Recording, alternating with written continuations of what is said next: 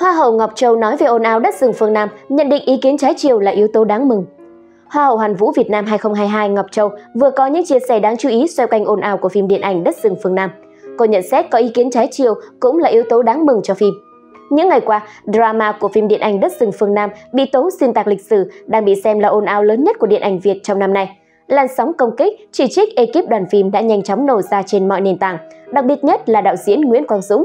Sự việc càng ồn ào hơn khi các cấp có thẩm quyền, những nhân vật nổi tiếng cũng bắt đầu vào cuộc là tác phẩm điện ảnh dựa trên bản truyền hình nổi tiếng trước đó là Đất Phương Nam.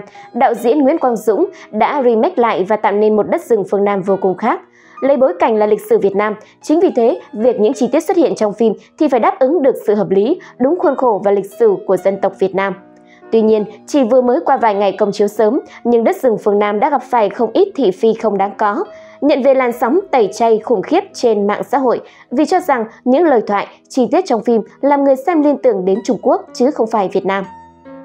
Cụ thể, hai cái tên Thiên Địa Hội và Nghĩa Hòa Đoàn đã được nhắc đến trong phim, nhưng theo vậy thì lại khiến nhiều người liên tưởng đến thời nhà Thanh của Trung Quốc không chuẩn xác với người Việt Nam. Nhà sản xuất phim cho biết, phần thoại trong phim sẽ chuyển từ Nghĩa Hòa Đoàn thành Nam Hòa Đoàn và Thiên Địa Hội thành Chính Nghĩa Hội. Sự thay đổi này tránh sự liên tưởng đến Thiên Địa Hội và Nghĩa Hòa Đoàn từ thời nhà Thanh, Trung Quốc.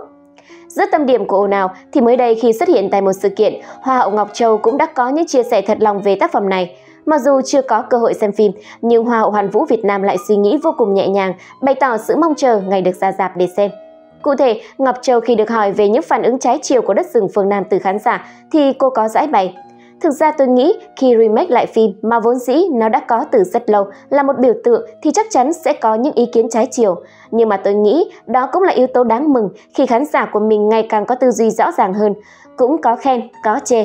Thì tôi nghĩ đó là những bài học để đạo diễn, nhà biên kịch phát triển hơn nữa trong những lần sau. So sánh giữa bản truyền hình và điện ảnh, Ngọc Châu giải bày những mong đợi trước khi xem phim. Bản điện ảnh thì tôi chưa được xem, nên là với một tâm lý háo hức, khi xem trailer xong rồi thì tôi hy vọng cái mạch cốt truyện nên giữ như vậy. Tuy nhiên cách kể chuyện nó sẽ mới hơn để có thể tiếp cận được bộ phận khán giả hiện tại. Tôi hy vọng nó sẽ hiện đại, gần gũi hơn. Trước đó, lên tiếng về những ồn ào xoay quanh phim của mình, đạo diễn Nguyễn Quang Dũng cũng có giải thích. Chúng tôi muốn làm một bộ phim nói về tình người, về gia đình, về vùng đất ở thời kỳ loạn lạc nên có ý kiến hơi tiêu cực về đất rừng phương Nam và lan rất rộng tới những người chưa xem làm chúng tôi chăn trở. Chúng tôi quyết định sửa những chi tiết khiến người xem hiểu lầm. Đó là chi tiết nhỏ để mô tả bang hội, nhân vật trong phim chứ không phải ý nghĩa chính của bộ phim hay điều chúng tôi hướng tới. Bên cạnh những lời giải thích với dư luận thì nam đạo diễn cũng không quên gửi lời xin lỗi và cảm ơn đến những vị khán giả đã tìm ra những điểm chưa tốt để góp ý, cho biết đoàn làm phim ghi nhận và mong sao khán giả sẽ có những phán xét tích cực hơn.